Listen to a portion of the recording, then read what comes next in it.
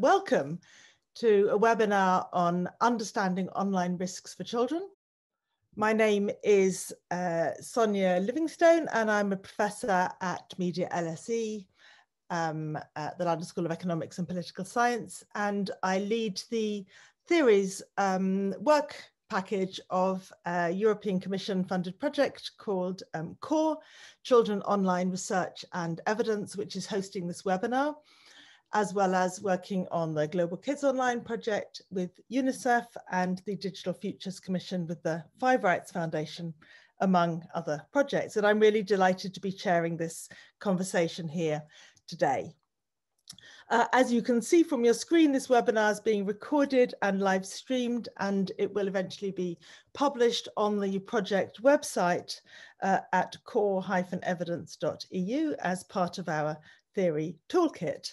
So please feel free to tweet or post on social media, and please put your questions in the Q&A box on the um, uh, webinar on the Zoom, and uh, we will come to you uh, after the speakers have each uh, introduced their perspective. So why today's topic?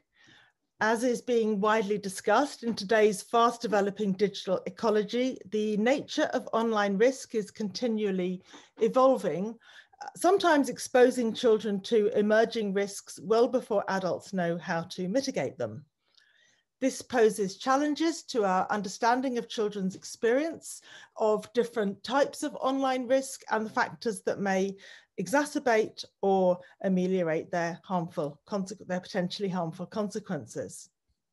So how we conceptualize online risk matters for the research that we conduct, for the regulation that we call for, and for the wider public discourse and initiatives that shape children's life outcomes children's relation to the digital environment is in many ways uh, contested. Are they victim or villain? Or in less inflammatory language, are they a recipient of online uh, content? Do they participate? Are they an actor, a consumer of the digital ecology and its risks? How, sh how shall we think about their role?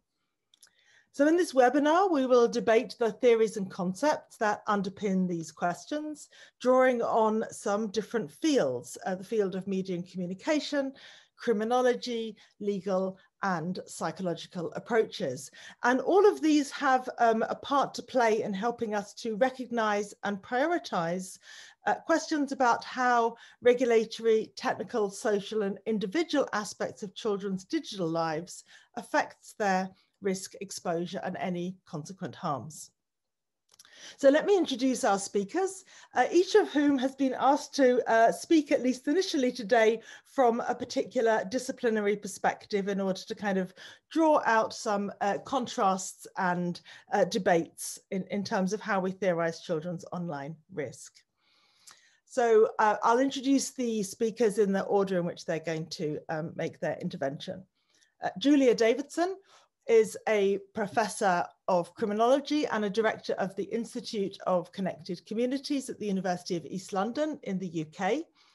Julia is chair of the UK Council for uh, Internet Safety Evidence Group and provides expert advice on policy practice and offending in the areas of cybercrime, online harms and online child abuse to the Home Office, the National Crime Agency, UNICEF, Europol, the US Sentencing Commission, the US Department of Justice, and the ITU. She'll be followed by uh, Stephan Dreyer, who is Senior Researcher in Media Law and Media Governance at the Leibniz Institute for Media Research, the Hans Bredow Institute in Hamburg, Germany. Stefan is a legal expert in regulatory questions at the intersection of protection of minors, privacy, and data protection. Currently, he's working on legal issues of AI-based communication and automated decision-making systems, uh, social bot communication, and the limitations of transparency and disclosure as a regulatory discourse.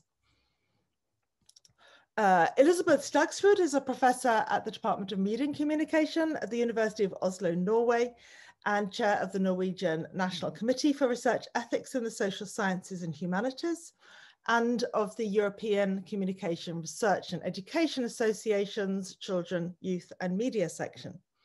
She researches children and online risk, regulation and rights, online censorship and governance, and research ethics as part of the EU Kids Online core and ySKILLS projects. Giuseppe Veltri is Professor of Research Methodology and Cognitive Sociology at the Department of Sociology and Social Research, the University of Trento in Italy. His research interests focus on the study of public opinion dynamics and social representations using a computational social science framework. And he also investigates the development of research methodologies of a computational nature as they apply to social science problems and the intersection with the behavioral sciences. Uh, so those four speakers will, will make their um, interventions and um, we'll have two rounds of questions uh, to them and then we'll come to the Q&A and leading that will be our discussant, um, Mariya Stoilova, who is a postdoctoral researcher in the Department of Media and Communications at the London School of Economics and Political Science. And her area of expertise is at the intersection of child rights and digital technology, with a particular focus on the opportunities and risks of digital media use in the everyday lives of children and young people, data and privacy online, digital skills, and pathways to harm and well-being. So um, I'm looking forward to the, um, the conversations and interventions that uh, now emerge. I've asked our four speakers each um, in five minutes, um, I think with uh, slides uh, for most of them, uh, to answer the question, how do they, as an expert in their particular discipline or field, conceptualize online risk? What factors underpin it both within and outside the digital domain?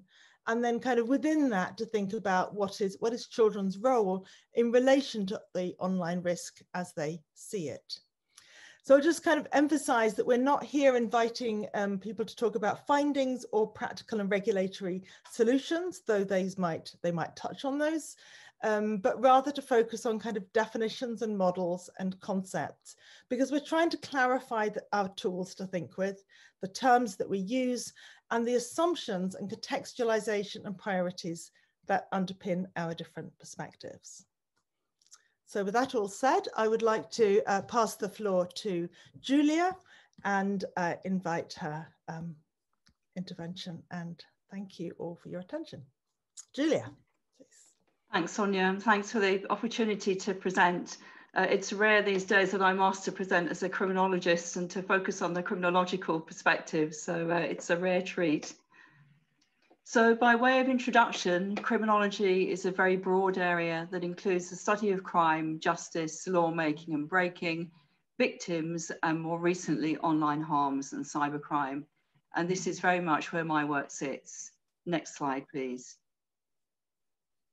I think it's fair to say that criminology has largely neglected children online.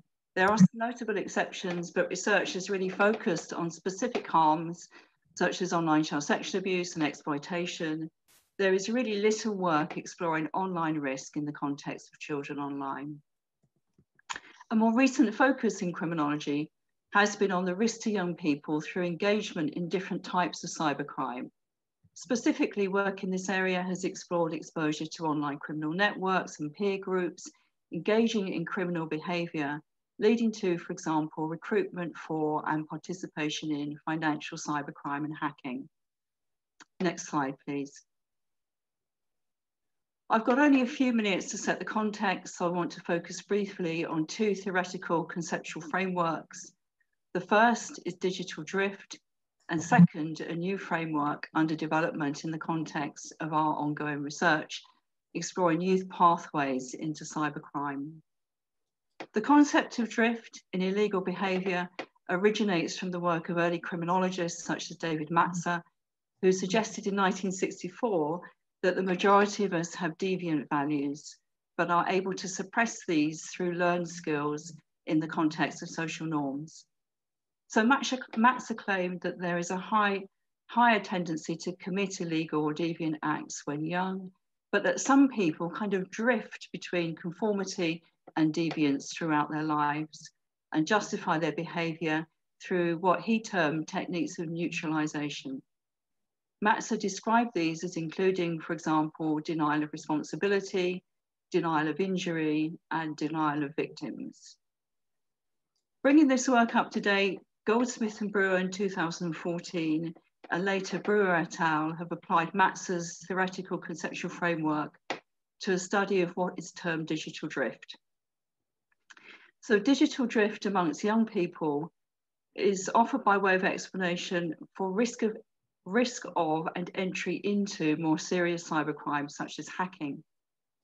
The early focus in Goldsmith and Brewer's research was on the ways in which criminal interactions formed online that empowered the individual, allowing them to control their involvement in networks or associations and to commit crimes autonomously.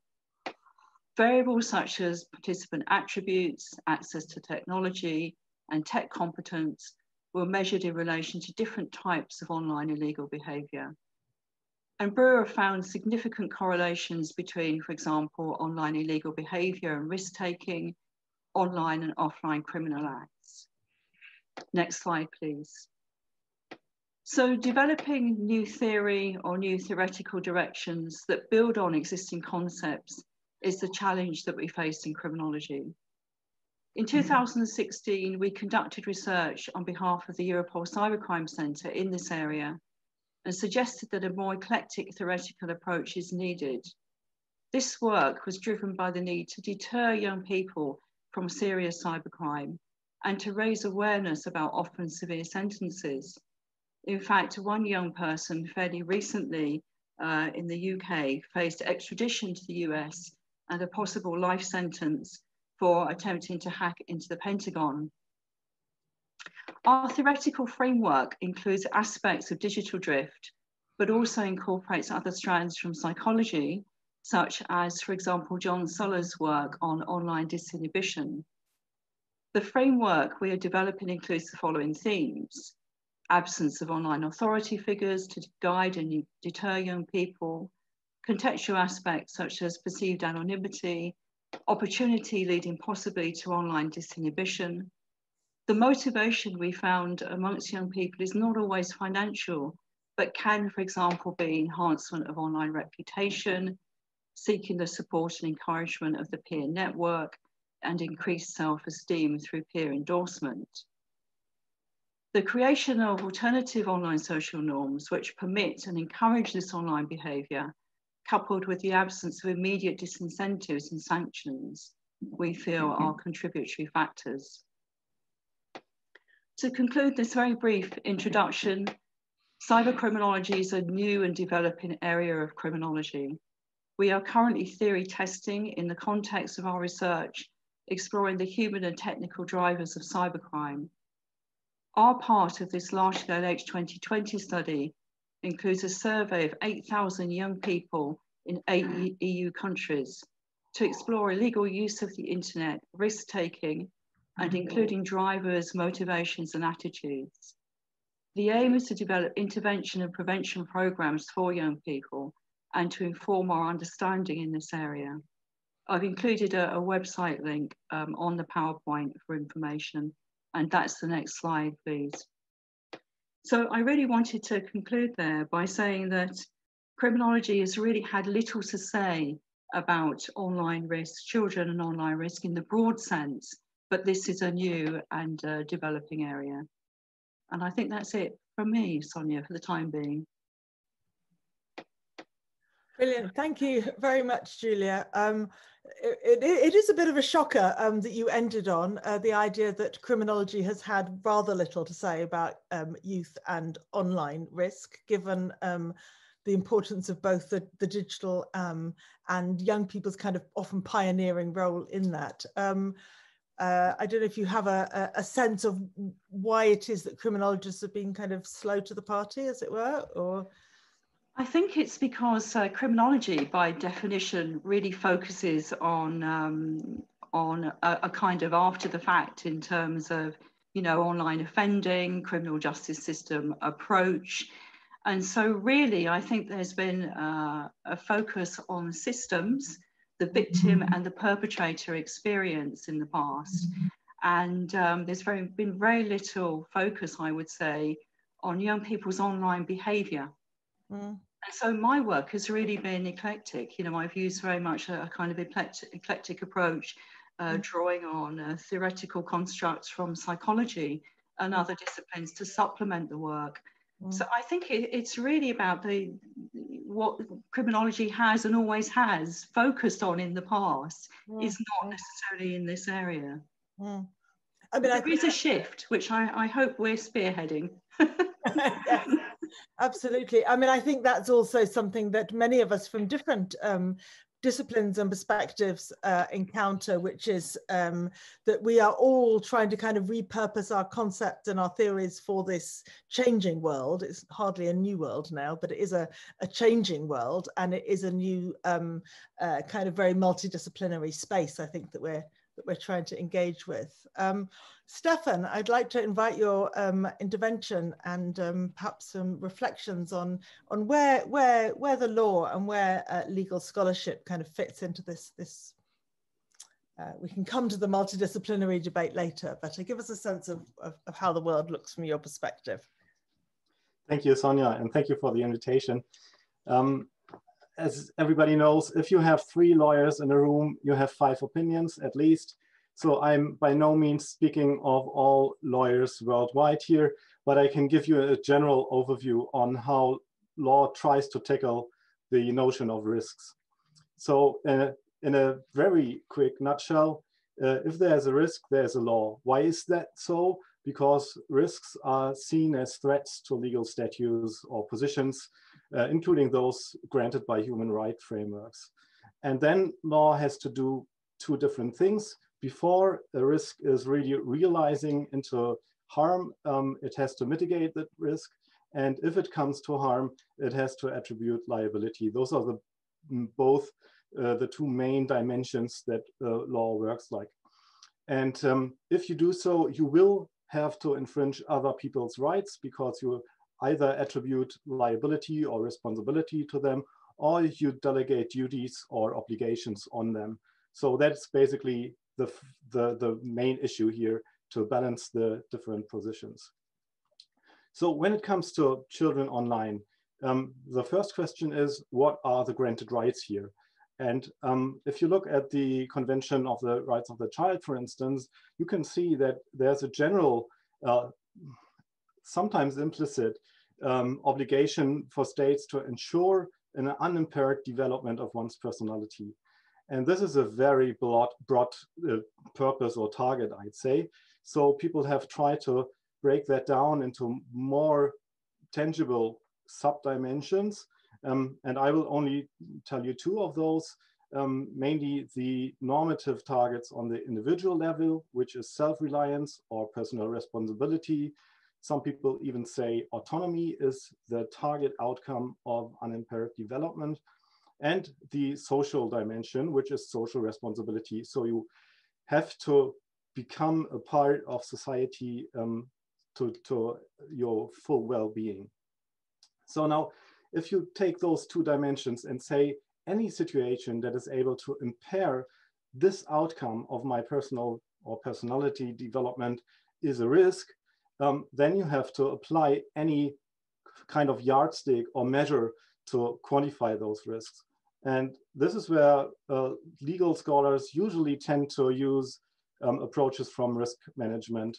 So um, when it comes to the likelihood of occurrence uh, of such uh, risks, there it does not um, suffice that you have any theoretical possibility of that risk, but you need more than that. So it has to be uh, feasible and reasonable um, that you create a risk um, there. Then on top of that, if that risk is becoming really imminent um, and you can feel the danger that the risk is realizing into some form of harm, then we talk about danger in, in law. And that's when uh, the lawmaker is usually um, able to take higher infringement um, or you will see propor proportionality in law uh, in an easier way than if you only talk about risk.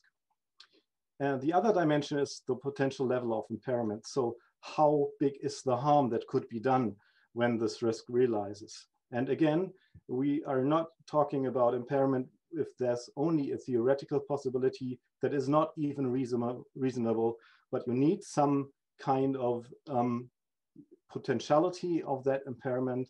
Uh, and again, here legal scholars usually uh, say that it's if if there's an impairment, then it's already in the in the realm of uh, where the legislator can act. Um, even more so when it's about potential harm. And those two those two levels we know of, for instance, European legislation when it comes to impairing content, content or harmful content. So it's reflected in legal frameworks as well. Now, in the online realm, we can see a lot of phenomena taking place right now. And I'm not saying that all of these are really risks, but we have to look at them from a risk-based approach. Um, and I don't want to talk about any of those. We don't have the time for that. But when we look at these rather new phenomena, we can see, um, from my point of view, three different um, issues evolving from many of those. And those are issues that the legal frameworks do not yet really uh, act on. So one thing is the interaction. So we have like dynamic communicative settings where the child takes part into that communication.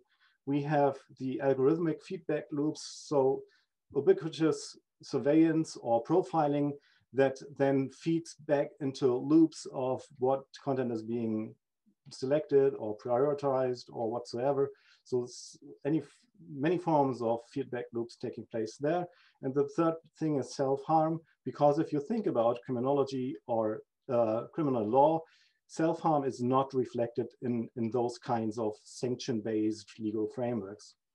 So for me, three challenges are uh, evolving right now before our eyes. We have um, traditional legal reactions in many areas of law um, that is that are mainly based um, on the situation where the risk already has been realized.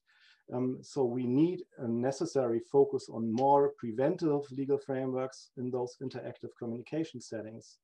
And second, we have new forms of effects. Well, we have decades of media effects research, but these ones are new because we see ethical hurdles in researching those minors and interactions because often they are private or even intimate. Um, and we have limited insights into these new forms of surveillance and control where ch children are ubiquitous, monitored and profiled, and we do not know what this um, uh, has, has as consequences for the pers personal development. So law is really depending on empirical research here, even the more. Um, and what I want to plea for is new forms of cooperation between law and empirical sciences here. Um, we talked about that as listening law, so le legislators that really listen to empirical evidence, and transferring science, so scientists that really are able to translate their findings into the realm of lawmaking. And third, but not least, we see new risk dynamics. We are not talking about one risk that is taking place on one service or in one context, but we see a lot of interconnected risks here, um, for instance, between content and contact. And we see fast escalation, fast escalations, um, even across different services or diff different kind of media. So this is really um, a very difficult thing to assess for law right now. And my uh, final thought on, is, on this is that we need new conceptions or conceptualizations of risk assessments in law to tackle those challenges. Thank you. Brilliant. Thank you, Stephan. Um, that was, um, I, I already see lots of uh, intersections and connections also between your, your, your talks. And um, uh, I'm, I'm struck by the way in which both um, Julia, and then you, um, in accounting for risk to children and young people, offer an account also of the nature of that digital environment because it affords interaction or anonymity. Um, and, and we could, you know, in fact, in our next webinar, we'll give some attention to how we characterize that, that digital environment. I, I, I, if I can just ask the, the inclusion of self-harm as the kind of a, a really significant new challenge in your in your perspective. Um, is that because, as it were, it is a, a, a, crime without a, or a problem without a perpetrator somehow? Uh, um, that it's, it's hard to point the finger at, at who is to yes. blame. Um, the, yeah. the question behind that, um, at least one of the central questions is, if you think about the Convention on the Rights of the Child, then mm. everything is built around the child that has to um, ensure well-being and uh, a healthy um, uh, growing up. But mm -hmm. what happens if one of those children really is the perpetrator in those scenarios? Mm -hmm. um, are we then, is, is that outside of that um, context? Mm -hmm. Or do we need to find ways to get that well-being into the child again? So mm-hmm. um, mm-hmm. that is really interesting. And maybe. It's a reason, like Julia said, that criminology has not uh, focused so much on, on these issues, because then we are talking about criminalizing youth, which uh, we don't want to. So, yeah. Uh, excellent. I think these are these are um, exactly the kinds of challenges that we that we wanted to focus on, and um, perhaps on that question of yes, uh, children as innocent or angels or devils. Um, Elisabeth, I think you're going to say something about how this is in fact quite a long uh, discourse, and uh, from from your perspective, uh, uh, start yes. if you wish. Yes, I'll share my presentation uh, and and hi everyone. Okay, so um, so I come from the media uh, and communications field, or uh, and of course, you, the the question that was asked uh, was, you know, how do we I conceptual uh, conceptualize online risk as somebody from the media field? But perhaps uh, I should tell you all that uh, media scholars uh, often, I think, can be referred to as the magpies of the academic world. We tend to steal and borrow from all other disciplines, which makes it fun, but also quite confusing. So perhaps uh, this is better known as what I've learned or um, borrowed from other disciplines. Uh, and I think that that's something like media scholars often do because we're all about context and seeing things in relation to each other and especially then the media of course as as a core but still the context around that digital or around that media technology is where we thrive so what have I learned from the other disciplines? Well, just like Stephan, uh, I think that insights from the natural sciences are actually quite useful. So seeing risk as something that is a combination of uh, likelihood of it will happen, which can go from never to you know almost certain or even certain, and how that is combined with level of harm or level of impact and how these can vary so you can have a low likelihood of happen but a very uh, high level of harm if it happens or likelihood of something happen which is very high but the actual harm is not uh, the impact is not that big. And understanding that risk has this complexity is extremely important. Also, I think when we're going to understand and talk about risk for children, not all risks are harmful necessarily or have the same level of harm. So risk is on the one side calculation. It's something that we can calculate often. Uh, we can we can we can use do the maths it also is also uh, often a known potential and it's intrinsically linked to this uh, idea of impact of harm. I've also had some insights from the social sciences, which I think it's worth building on when you think about theory, which is what this webinar is about. So risk is a potential, but it hasn't really happened yet. It's something that is an anticipation of something which is an uncertainty but we don't really know what will come out of it. We can we can calculate and we can guess but it could also be positive it could be building of resilience which is you know something that we talk a lot of with children. It could be that development which is so important. So risk as in harmful per se is something that is really important i think to avoid when talking and using theoretical concepts and also when doing empirical research. So this excitement of risk i think we should we should try to to include more. It could be good something nice can come out of this. So let's talk about it in a more complex way. And, and one of the things, and I know this is not an empirical, but, but just to, for those of you who don't know the, the online risk field well, it, I, I, was reminded of this when I did a report with my colleague, uh, Monica Barbovschi, where we uh, looked at uh, the predicted probability of uh, youth in Norway being upset when receiving sexual messages online. And this is by age and gender. And what we saw was that being upset by receiving sexual messages actually is decreasing by age for girls. Not all, I mean, many girls find it upsetting, but, but not everyone. Some actually thought this was okay or it didn't bother me. And that gives a complexity to re receivement of risk also that we need to, to understand, which that not all children are the same. And when we ask the boys, none of them ever thought this was a problem at all.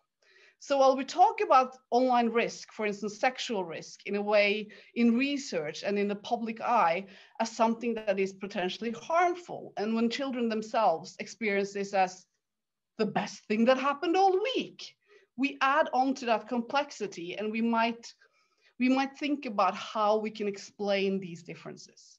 So, so, and I think my final insight is that risk perception is more on the agenda, both in terms of research and uh, in particular in terms of uh, public discourse than actual risk assessments.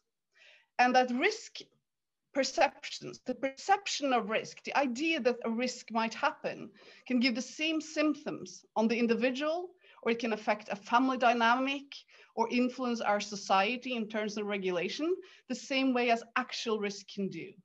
And I mean, in media and, and also other fields, we use concepts like, for instance, uh, moral panics, media panics, but this sense that not understanding the complexity of risk can actually give effects and impact us in a way that might not be helpful and can also not be necessary is important also to understand. And that this uncertainty infused by worry, which is key in, in online realm, is a dangerous mix that might have implications on all analytical levels for the individual child, for the social level, for the family, for the school, for digital ecology, for the societal level, and for the national level. So studying online risk is to combine the rational with the irrational, which is something I think media scholars are some of the people that should, should do this. And of course, to combine what has been before in neat regulatory boxes into one big lump. It's not about the health service anymore. It's not about the legal frameworks and what is criminal. It's not about the schools. Everything is online and that adds to the complexity. Uh, and final observation, when we study and talk about online risk, we mostly do it retrospectively. And this is a theoretical problem. So we talk about it as something that already has happened, while risk is something that actually has not happened yet. And we should perhaps start to think about it. So what is needed from a theory? Well, I think it's needed a theory that can encompass context, that can include all analytical levels, and that allows for an interdisciplinary and common vocabulary as this is indeed a cross interdisciplinary research field. I have some suggestions for what kind of theory that could be or what kind of good theories. I'm not going to do that now, but maybe we can talk about it if you have questions later. Thank you. Wonderful. Thank you very much, um, Elisabeth. And uh, yes, um, I, will align myself with the media and communications perspective um, uh, and that kind of sense of being the magpie. Um, uh, maybe Elisabeth, you could just say something about um, uh, where to look, as it were. What drives that sense of I want to take a bit from here and a bit from there, and this is what we're trying to kind of build up. Um, what kind of makes that hold together or, or take a certain direction? Yeah, so maybe uh, theoretically, what is often needed is, is those theories that can lift from that individual risk or that individual psychological uh, uh, or, or, or, or uh, you know, individual variables or what is going on on the regulatory level and look at it as a whole. So those large theories that can lift our perspective into more societal and contextual um, mm-hmm. frameworks, it's helpful. I uh, it, uh, it's it's not uh, a secret uh, that I'm a big fan of uh, Ulrich Beck's uh, not risk society thesis, but his institutionalized individualization that encompasses both this sense of individuality and what happens when we have this new thing coming and nobody really knows what to do and nobody really knows how to give advice, combined with this happening to everyone. So so this frustration of the modern, uh, late modern uh, individual parent and researcher is something that I can relate to. If that makes sense, Sonia. Mm -hmm. Yep, no, great, thank you. Um, and I can see um, questions coming into the um, the uh, chat um, and some in the Q and A also. So I think yes, we are. You are all together already uh, generating some thoughts from our um, participating audience. But first we'll um, come to uh, Giuseppe's um, presentation. And Giuseppe, I'm, I'm, I'm noticing that when you and I um, wrote a paper together, we used that risk management theory and I think everyone has referred to it. So um, I don't know if that's a starting point for you or if you've moved on in your thinking, but um, I look forward to your thoughts. Thank you. Thank you, Sonia. Uh, well, I, I, I, probably will touch upon that, but uh, I wanted to start from a slightly broader perspective, which is in line in, in terms of uh, why I, have come across uh, the issue of online risks uh, concerning children. In my case, I, I, I can say that it's probably incidental in the sense that I was working and I'm still working in the kind of broader area of what a now I, I, sort of summarize as digital challenges, but dig, digital challenges for what? For, in a way, the cognitive tools that people use in navigating and using the digital environment. And the digital environment is something that now has become such a, a interconnected part with uh, the way how we we decide about things, we we inform ourselves, and so on. And what I found interesting here is that uh, in this context, the type of research I've been doing, which is mainly behavioral research, has found that there is a huge amount of things happening online that are very difficult, first of all, to capture with traditional research methods. So uh, many many tools we used to have, you know, surveys, self-reported data, they don't really help you into that because when you have here is behavioral modification of users through complex interactions between the way how environments present information, how we make choice in these online uh, environments. And so we have at least these four areas, which I think are crucial and in a way they can easily overlap or kind of connect with each other. So the first one is the sort of persuasive manipulative choice architecture that, that refers to all these aspects about the so-called dark patterns. So ways in which we can structure interaction online so that people do certain things rather than others because they make appeal to the way how we reason and how particularly in, in well in adults as, as much as children we use cognitive shortcuts to, to uh, decide about things then we have uh, of course related to somehow to that we have distracting environments so attention is the scarce commodity online. So a lot of, of, of resources are dedicated by many platforms to, uh, in a way, structure the way our uh, adults and children uh, use attention. And so it, it's another big challenge. Then we have all uh, the, the, areas that was already mentioned in, in, the, in some of the previous slides by previous speakers, the, all the algorithmic tools and filters that they actually play an active role in the way how they shape again the environment that we interact online and children as well.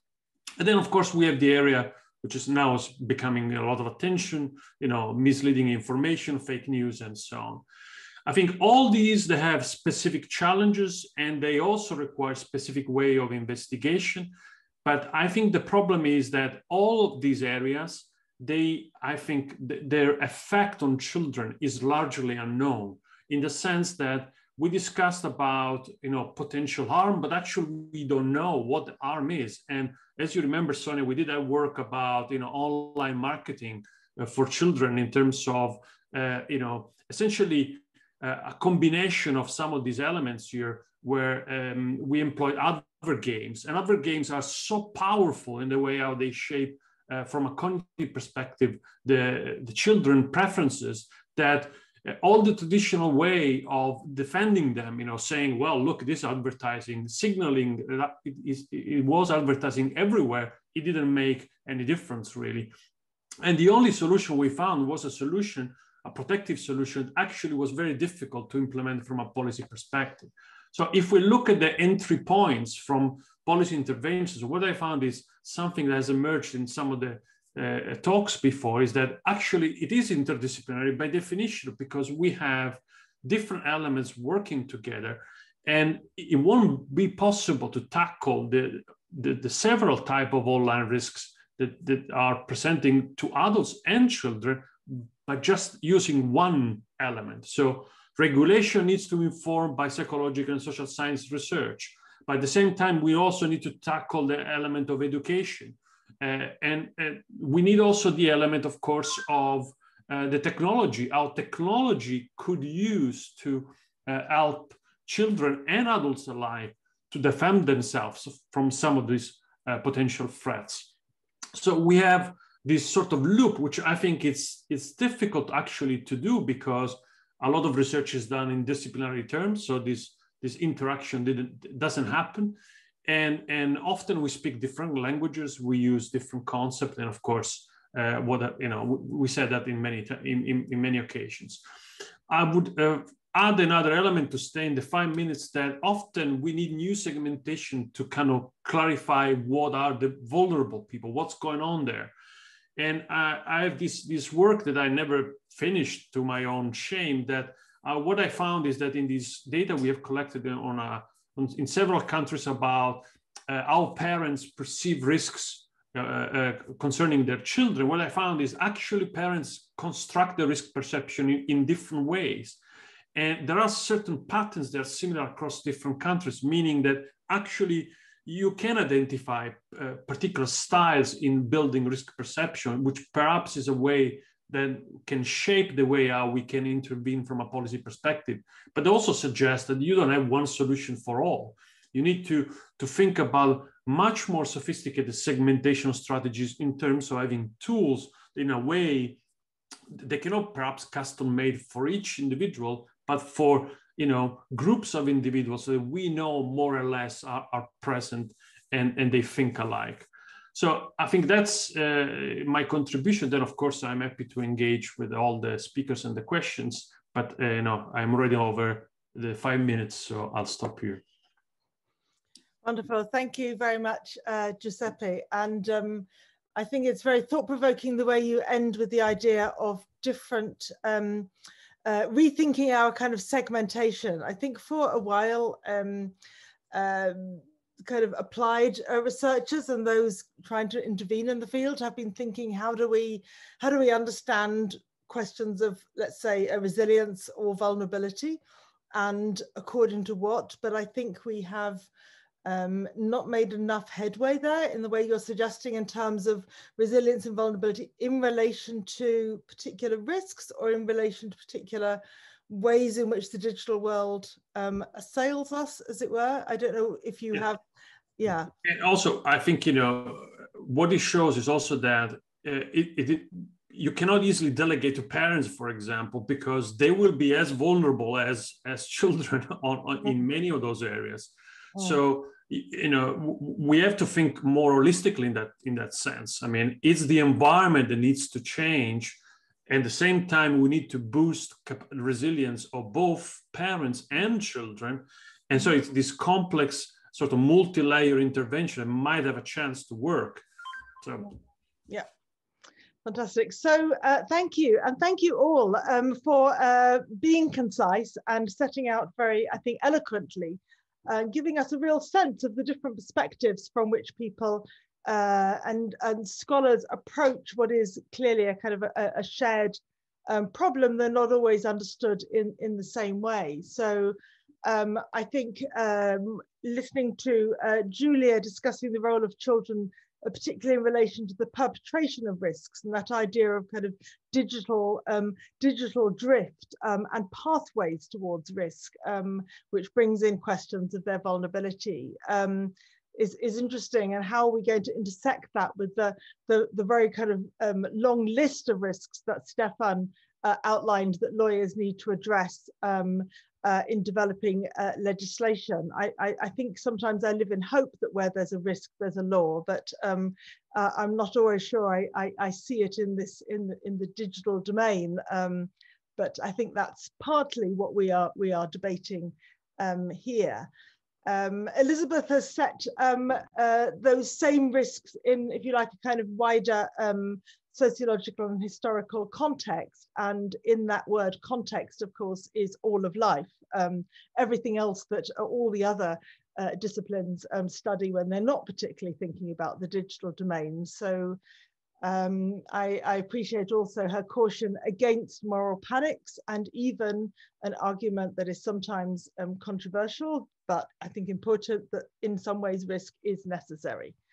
Um, and then um, Giuseppe has, I think, taken us uh, back um, or kind of forward perhaps to some of the, um, the, the unfolding and emerging ways in which technology is designed to interact with our people's vulnerabilities, children's vulnerabilities or susceptibilities or indeed interest in risk in ways, showing ways in which the behavioral and data sciences kind of amplify that risk and perhaps amplify those pathways that, that Julia was um, talking about. So in a minute, I'm going to ask the uh, speakers to reflect on what the others have said and kind of take this um, a little more into the multidisciplinary debate that I think we, we really believe uh, is, is, is necessary for, for this um, field. But I first want to just briefly um, pause and uh, draw to uh, your attention the report that we in the core network uh, released uh, just uh, the other day on Monday, uh, in which we tried to think about the uh, all that all those different risks and the classification of risks that we're talking about, um, not to put uh, online risks into neat boxes where we think they'll stay, but to kind of get a sense of the range of um, the range of risks that we're talking about and whether there are some ways of organizing them that can be uh, insightful in its, in its own right. And we produced that report after a very uh, lively discussion with uh, InSafe and InHope, who are the uh, European and beyond European uh, networks of uh, practitioners uh, who are seeking to develop the tools to mitigate or ameliorate or, or respond to the risks that children face across across Europe. And that's when I got a very strong sense of, of, of the practicalities of theory, if you like, how theory can be uh, useful in, in practice. Um, so I'll just um, briefly share with you the, the, the classification that we have, um, some of us iterated in many forms uh, over the years actually. And um, after talking to um, InSafe and InHope, we have um, offered this uh, yet again another iteration, one that tries to, if you like, put Stephan's long list into um, some meaningful order. Uh, those who are um, in the UK, we are currently passing an act which is uh, famous for its laundry list of risks. Um, and again, we're trying to put them in order. And what we're trying to prioritize here is attention to the way in which um, the role of the child. Uh, the speakers are variously engaged with the idea of, of, the Convention on the Rights of the Child and recognizing the child as an agent, but without burdening the child with the responsibility for all that follows. And I think that's a, a conundrum that, that we are all trying to find a, a language for. Um, so here in, in core, we've thought about those, a classification of risks in terms of content, contact, conduct, and contract to recognize um, the different ways in which children engage, but are also engaged with by um, the digital world and those who, um, who, who uh, uh, occupy it and who, who, who come into contact with the child through the digital, the digital world. Um, so not to put things in um, in kind of um, neat boxes, but to give us a, a, framework within which we can say, perhaps this is the range of things we're talking about when we talk about online risk. Um, and these are the intersections and connections, because of course, in, in reality, um, they, they, they all intercorrelate and, and interact. And then that uh, what, what has been proposed and increasingly proposed from both the theory and the practitioner community is the sense that there are some cross-cutting risks, some ways in which we, we need to be thinking um, of new ways in which the digital environment affords risks to children uh, that cut across their um, different ways of engaging with the digital world uh, in ways that are yet to be understood. And the speakers have, I think, um, uh, engaged with, with, with quite a number of those uh, too. So that's that's in our um, uh, the report we released, and I just wanted to kind of draw people's attention to it. Um, also, in fact, in response to one of the questions in the in the chat about opportunities, because um, uh, the EU Kids Online Network has always said risks and opportunities go hand in hand, both empirically, conceptually, and uh, uh, in terms of policy and intervention.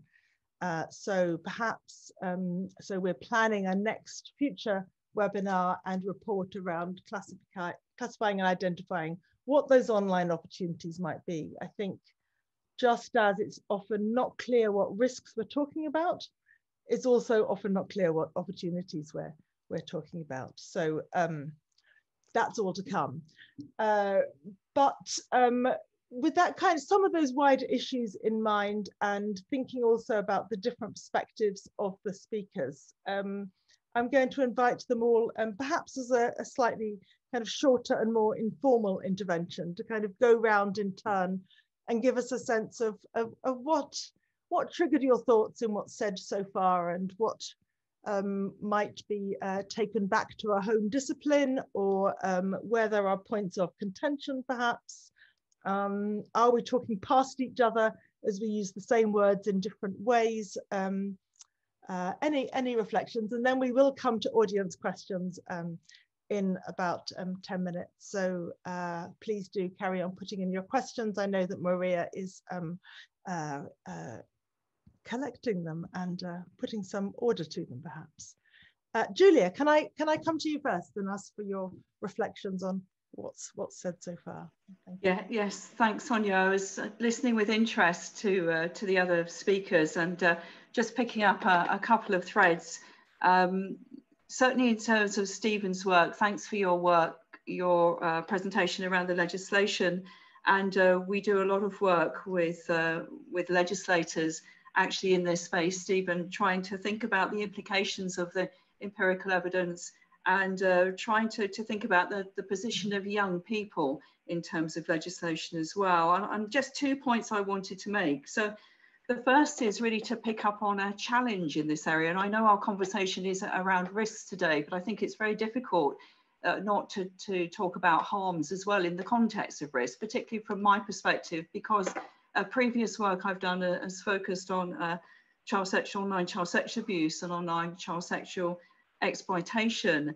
And I just wanted to, to say that one of the, the biggest barriers, I think, in terms of legislation across the EU and beyond the EU is a, is a lack of um, uniformity, if you will, across jurisdictions and the, the difficulties that this presents. I can see Stephen nodding, I'm, sure, I'm sure you know what I'm alluding to, but um, you know, the fact, for example, that we don't have a consensus around the age of informed consent across jurisdictions makes this a challenge in terms of the, the kind of legal definition of child. So I, I think that's, that's one issue I wanted to pick up on. And the second point, Stephen, you mentioned um, the criminalisation of young people. And uh, I think, you know, you threw criminology a lifeline there in terms of a, a kind of convenient excuse for, for, for not focusing very much in this area, but, but actually you make a good point. And I think in the work that we've been undertaking, what we've been trying to do is to identify the pathways into cybercrime, but then think about the points of intervention. You know, so at what point at what point can we start working with young people to channel, channel their extraordinary tech competences into to more legal routes, into less deviant routes? You know, and then in terms of the criminal justice system, what can the criminal justice system do for young people who are convicted of these crimes so that we don't see them facing really long sentences, which is what's happened in the past. So I think it's about really about intervention and prevention in terms of the criminalisation of young people. And we must also remember that criminology is not just about the, the study of law breaking, it's also about uh, deviance as well. So behaviours that we might characterise as deviant, but are not necessarily about formal law breaking. And then I think just one other uh, point to pick up on with Elisabeth is the, I appreciate what you were saying, Elisabeth, around um, you know, drawing on other other areas in your work. And I think we all do this in this area by necessity, because you know it really is a kind of multidisciplinary area. And, and I think that's one of the, the positives, one of the benefits, is that we see this area from so many different perspectives. But uh, I will claim moral panics for criminology in the work of Stan, the early work of Stan Cohen, which I'm sure you're familiar with in the 1970s. Uh, but moving on, that uh, thesis has been applied to uh, serious offenders and, and, sex offenders. And I think I just wanted to say on a note of caution that sometimes, and I know that feminist criminologists have really emphasized this point as well, that sometimes, you know, in the search for moral panics, that actually we can lose sight of harm. And, um, you know, there's sometimes a kind of unintended consequence around uh, using the, the kind of moral panic thesis when we know that there are real harms. You know, I've worked directly with victims over a long period of time, and we know that there are real harms. So I think I just wanted to, to acknowledge that. And I think that's it from me. Oh, wonderful. Thank you, Julia. Um, and uh, I love that you've thrown um, some uh, questions and challenges directly to uh, the speakers. So let me turn to uh, Stephan and um, uh, feel free to um, respond to Julia and also raise any other points that you would you would like. Yes, I think um, the first thing that struck my mind was the notion of risk reception. What relevance does risk reception have um, in, in this context? And I wondered uh, whether we should really count that in into, at least in, into legislation, because what we come up with is that, for instance, moral panics will result in different risk perceptions that will, will result in laws that may or may not tackle the underlying problem. And then the risk reception is uh, gotten better, but the risks, the underlying, underlying mm-hmm. risks, not so much. Mm-hmm. So we are talking about some symbol or symbolic politics here. Mm-hmm. Um, so I'm rather hesitant when it comes to counting in risk of reception. And the mm-hmm. studies that we conducted in Germany, at least, where we questioned parents and their children apart from each other regarding their risk receptions. It turns out the parents have risk receptions very much based on the public, uh, well, public debate on alleged online risks, while the children had a completely, or not at all completely, but a rather different risk reception um, that was based on their own experiences uh, in, in the digital realm. So there, there might be differences between those two generations then. Um, that was the first thing. And the other was um, how, to, how to tackle the different, um, well, let's take the four C's. I, like I like that approach very much. Um, so when we talk about content related risks, uh, regulation has a long-standing experience of how to tackle content related risks. So there is something to build on. And when it comes to contract related risks, we always have contractual laws. So we can grab that. That is something that regulation can make rather tangible um, and approachable. But when it comes to contact and conduct, we are entering um, an area where we talk about private messaging or intimate um, conversations. So there are human rights that intervene um, and that prohibit us and the state to have a look into those conversations um, for good reasons. so we cannot come up with simple solutions here to, to um, look into those things and to, well, it, we don't know what's happening, basically. Um, and that's where we need new forms of um, interventions or provision or uh, protection.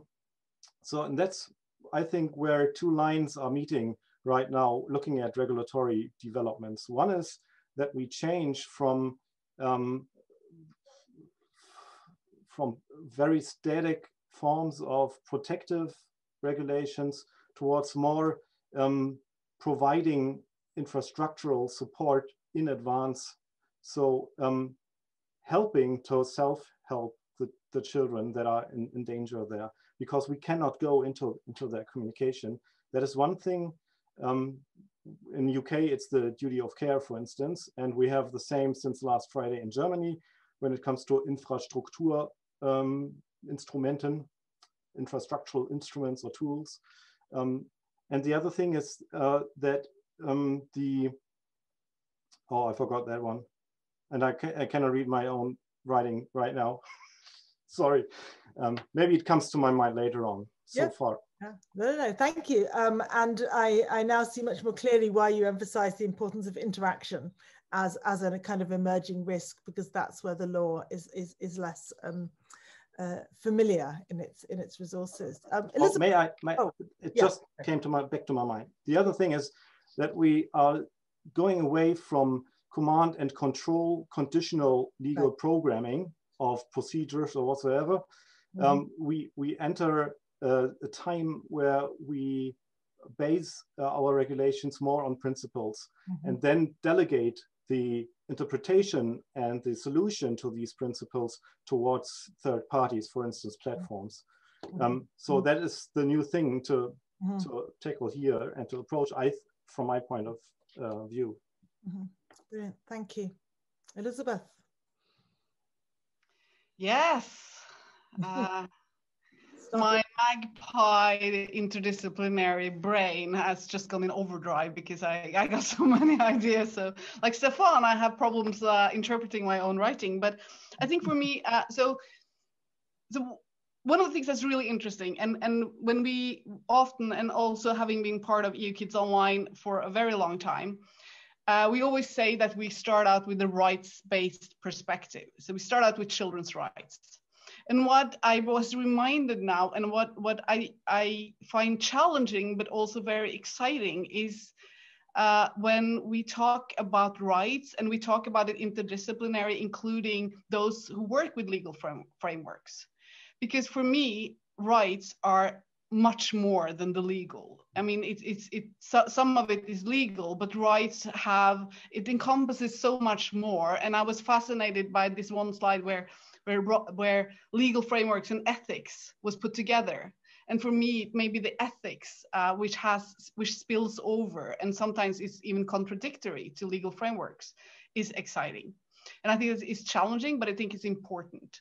So what I struggle with sometimes is precisely that we as researchers find find our common language where we can talk about rights without having to being um, forced or or having to go the route of, of understanding it through a, a legal lens.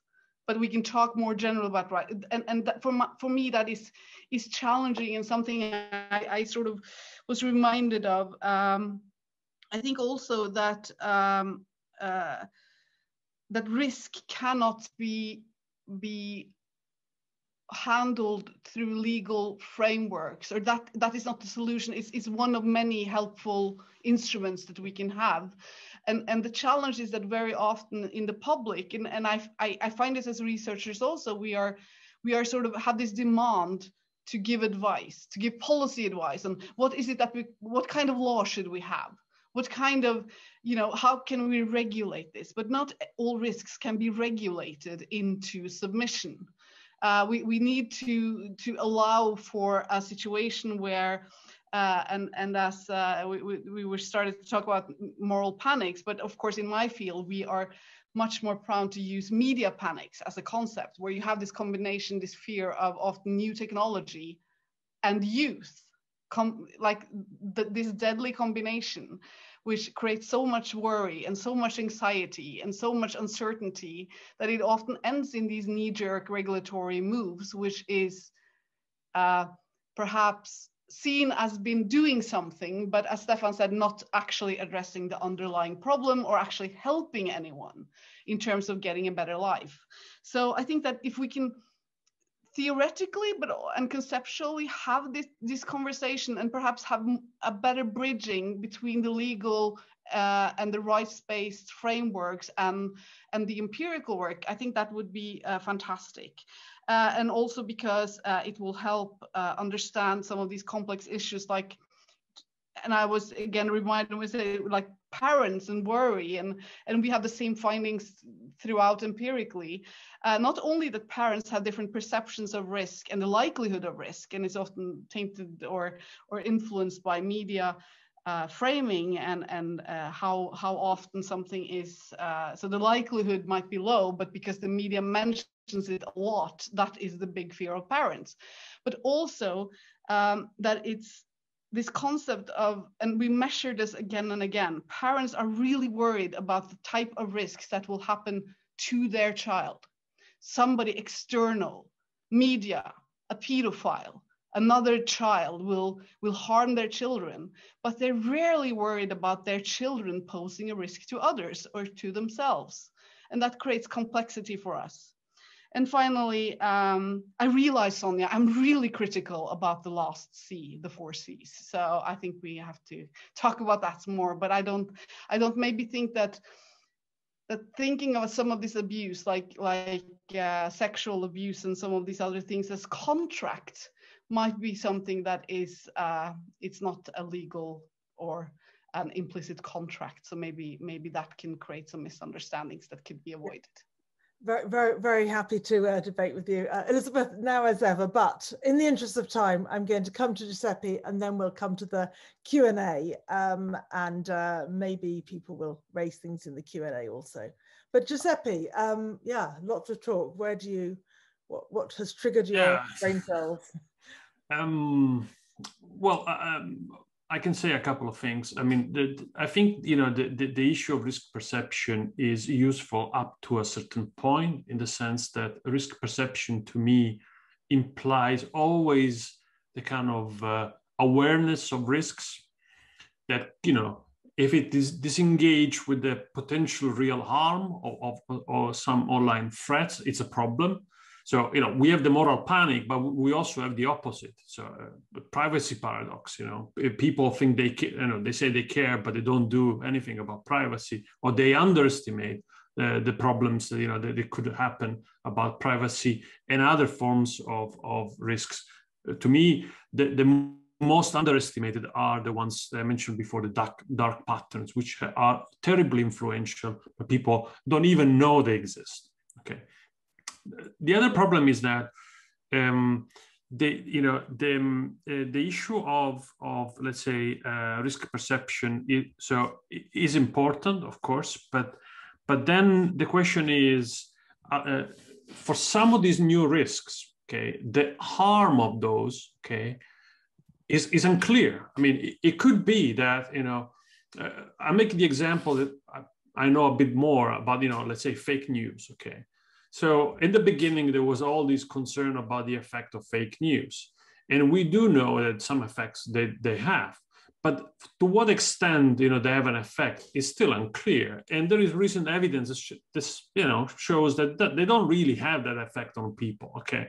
Now the question is, okay, uh, but but you know, we need to, to have to have research in order to assess that because we don't know beforehand. And the other problem is that these things are constantly changing.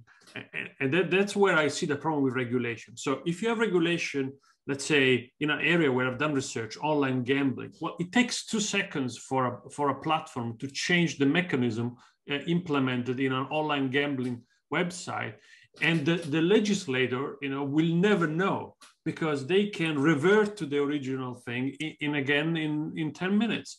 So clearly, regulation provides some kind of protection, but ultimately is an issue of building up resilience. Now, I do also trust in human, you know, put trust into human beings that we are capable of finding strategies of resilience, you know, also on our own. And if I have to self-criticize my own approach, I would say that that is, I mean, all the stuff I said, they kind of work very well if you consider only individual response to these threats. But actually, we don't know much about how people, through social interaction, through, through some kind of social distributed cognition, they solve some of these threats. Okay.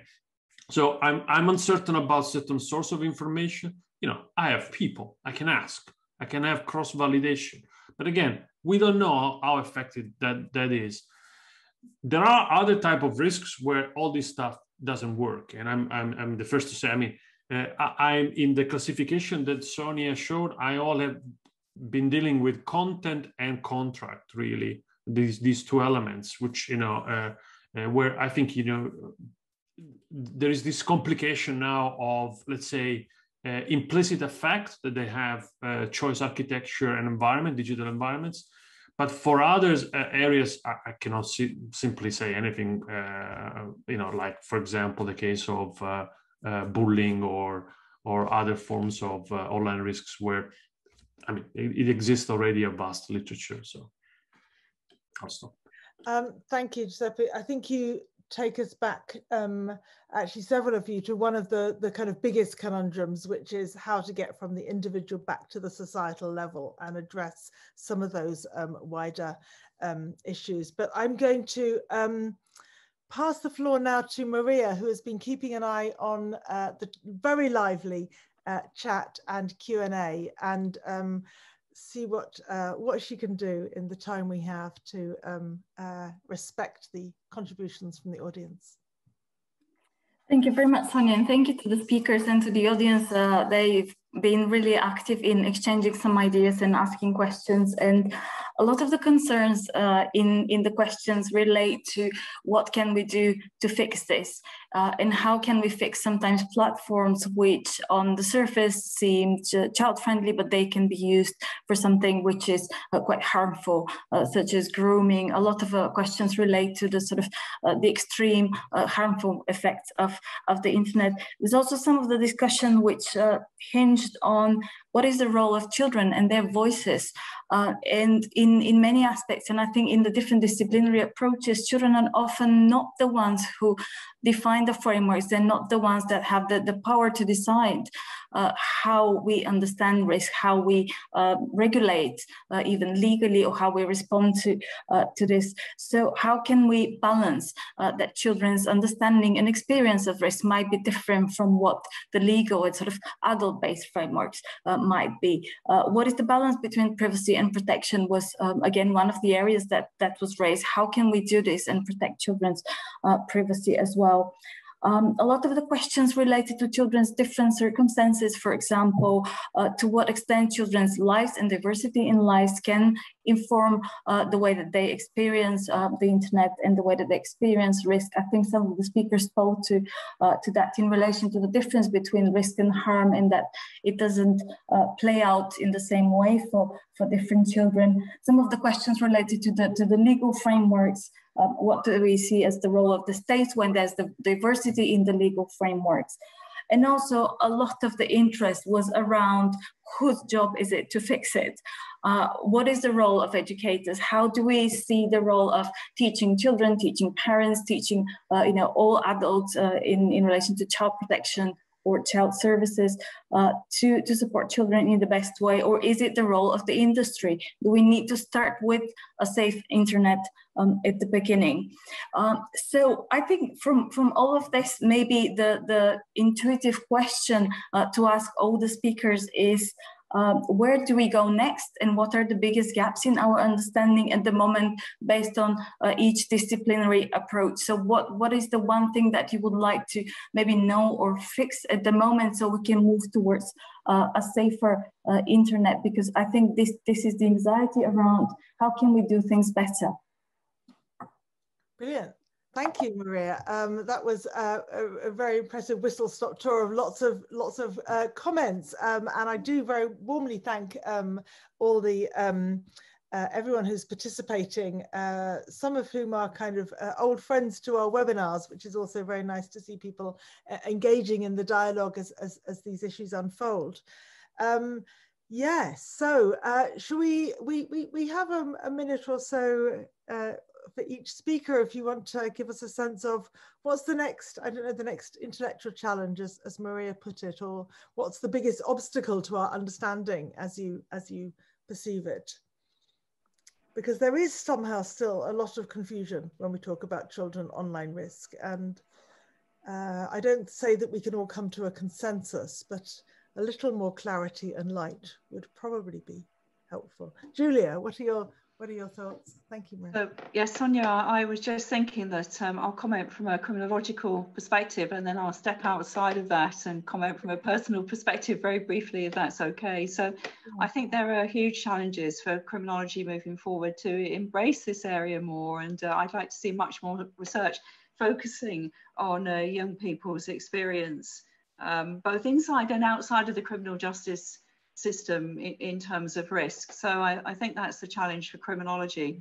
Um, from a personal perspective, I think the challenge is really to, to move the debate much more from the global north to the global south. And I know that you've been doing this with the work you've been conducting as well around global EU Kids Online. And, you know, we've been working in, in Africa, for example, uh, trying to move the child online protection um, agenda forward and so I think for me, it's about moving the risk debate from, I think we're fairly well rehearsed in terms of the global north.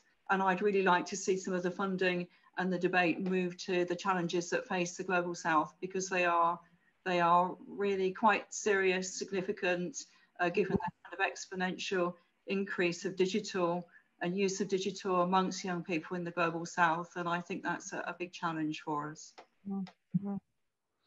Thank you. Um, yes, very, very, very. It, it's it's a huge challenge actually, and um, we have um, not only um, and of course research has been done in very many different countries um, and vastly expanding the context that Elisabeth um, talked about uh, earlier on but also of course posing challenges to what it is we think we already know let alone um, what it is we need to know uh, next um, Stephan, how do how do lawyers think about that global context, or are you always in a national legal frame?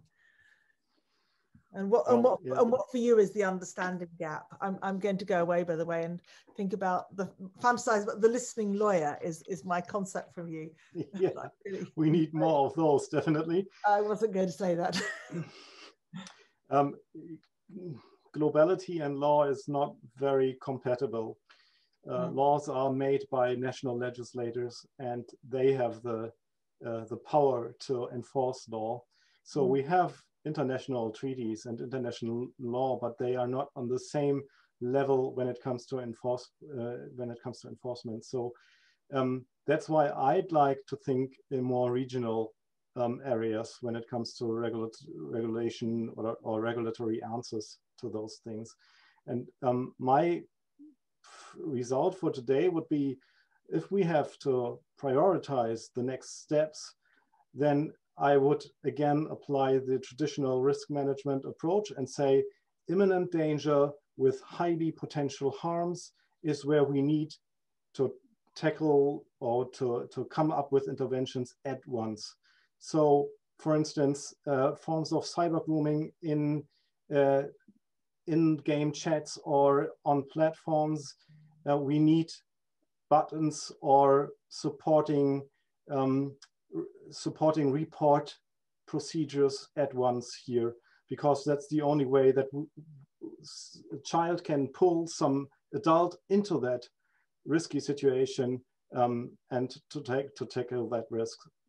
But then again, we have a lot of underlying risks and we need to tackle that, those too, but with other approaches. For instance, by um, providing more resilience, more infrastructural support for um, ch children who think that there might be risk, but um, are not sure yet whether it's really imminent.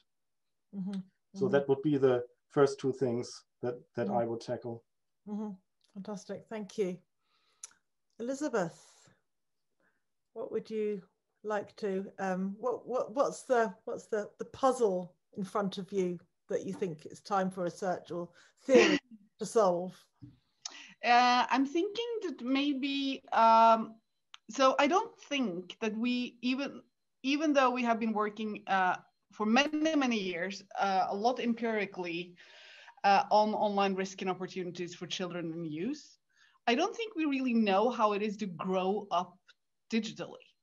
Uh, we we don't know because we don't have sufficient panel studies. We don't have studies that follow the same children throughout childhood and and knowing what it means that that to have something happen to you, uh, have experiences, have different backgrounds, and how that might interplay or or cause consequences that we fear when you're older. So I think that that uh, methodological innovation, panel studies, and also uh, this component of more comparative studies over time is essential with the same children not new children. It seems to me like the internet generations are getting shorter or and shorter so that the 10 year old has have a completely different internet experience and technological uh, strategies than 15 year olds or 20 year olds so in order to gain insight of what digital media effects is we, we need that that methodological tool that takes time and is complicated. So that's that's the one thing. And then I think that that what is needed from us perhaps uh, collectively is also not to tell parents and politicians and, and others not to worry, but at least give them some direction of their worry. So what we find from empirical research is that parents and, and, and others are worried about a lot of things. And some of these things might not cause harm or might be very unlikely, but things that do cause harm and are very likely are not such a big worry. So I usually say to people, you're allowed to worry, but let me suggest, based on research, things that you should worry about. And I think maybe that could be helpful so that you can, can not having to worry about everything all the time because it makes us all exhausted, but to, to focus that worry on what actually in places where there is a likelihood of harm and where we need to have intervention and help. Yeah, thank you. I think you and Stephan have agreed across different perspectives and uh, and why not? Um, Giuseppe, um, I think in your talk you mentioned lots of kind of future technological changes. Um, I just wonder if that's where you see the the kind of the conceptual challenges um, coming, or maybe you have others in mind. Yes, I mean the, the main difficulty is that um, you know we are here to assess uh, online risks and the effects they might have, but you know these environments are changing constantly, and and, and so th- that that's a challenge how to to analyze, collect data, uh, to have access to data often uh, because those are available. Um, I think there are new so that's there is a wider, let's say, methodological problem that I think Elisabeth mentioned. I think it's true. Panel studies, mm-hmm. uh, whatever is possible. I mean, I, I deal more with the, with experiments, but experiments you know, cannot be done in some cases for obvious ethical reasons. So uh, you know, we need to rethink the tools, the kind of you know epistemic, uh, uh let's say, approaches we have to, to, to this stuff. And then I think uh, we also have to think a bit more creatively about the new vulnerabilities. I think there are interactions that often are uh, underestimated. So uh, the example I usually like to make is the one of cognitive scarcity. So people that are in particular conditions uh, of you know socioeconomic status or or whatever type of condition at home that affects the the cognitive tools at their disposals in terms of evaluating uh, uh, things. And that means that if they have to evaluate, among other things, uh, risks online and risks uh, about you know using certain platforms rather than not, or what, what's going on there, or to monitor where the kids are, uh, including the kids themselves, then is affected by this cognitive scarcity condition. And, and so you have these new vulnerabilities that are very subtle, very very complex because um, you see uh, not only differences, you know, uh, in parents in terms of of you know how likely they perceive a risk, but what type of information they use to build their risk perception, what type of reasoning they follow, what type of heuristic they use. And, that makes it complicated because you understand that if you were to intervene, you are likely to find many audiences, many different type of, of potential you know, targets that they may not respond in the same way. You know, one solution for one group can be a boomerang for another one. So you find yourself in this difficult position. So, um, so a lot of work to do yet, I suppose. Yeah. Yes, sometimes I'm almost sometimes I'm almost glad to be uh, yes thinking about the theory and the research rather than as it were solving the world's um, problems, which is uh, a challenge I know that many in the um, audience today are, are facing. Um, Mariya, did we did we manage to uh, address some of the questions in the in the chat, or or there are many more that uh, remain to be uh, I think on another occasion. Yeah. Definitely many more nuances uh, in the questions, and there was a call for uh, what we think should be the, the new research, the forthcoming research, uh, where to go for resources, what are the good examples that we can learn from uh, in the different areas. So I think we what we might do is try to write up some of these answers because we, we have a lot of questions that we haven't really answered in great detail. Uh, so we will try to follow up the, the webinar and you can follow the uh, Children Online Research and Evidence webpage, uh, which is Core EU. Uh, and uh, we will try to follow up on the questions that we haven't answered so far. But thank you very much to all the speakers. I think they, they've been great and provoking more questions uh, as well. There are, there are always more um, questions than answers and answers generate more questions. Um, but um, uh, that's that's the nature of of of facing a, a, changing and a challenging domain and that's what makes the work interesting and and we hope um, important uh, so I think we are now um, at the end of our time and um, the audience and indeed the speakers have um, uh, been very um, dedicated and staying with us and giving lots of energy into this occasion. So I will just um, uh, close at this point and say um, thank you so much to all of the speakers um, for participation. Thank you to the audience for asking uh, many excellent questions. We will um, uh, likely edit um, top and tail and then post this recording um, on the coreevidence.eu website. Um, where you can find a lot of other resources and blog posts and activities going on. So yeah, thank you very much to um, everybody. And I wish you all a good, um, whatever it is, morning, evening, night. Um, thank you.